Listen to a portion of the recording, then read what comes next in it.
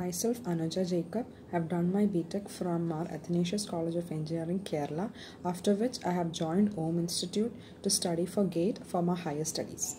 Basic concepts are explained well and thoroughly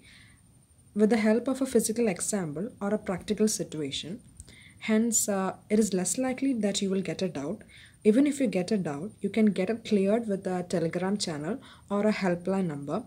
so that you can talk to the staff directly and hence as a whole the concept explanation and uh, doubt clarification is quite effective and satisfactory. And the best thing about OHM institute i believe is their problem solving approach because uh, they do a lot number of problems in the class itself and they train you so that you can attempt the toughest question in a given area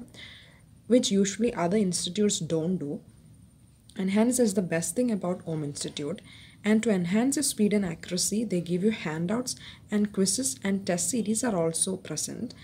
Topic by quizzes as well as uh, subject full length quizzes are also present and it will ensure that your concept understanding is quite good and also our uh, app related queries are usually taken care of and they're very quick to act about it and uh, the students will get individual attention from this institute. So as a whole uh, i'm very satisfied with my preparation and hence i will uh, always recommend it to my friends and family. Thank you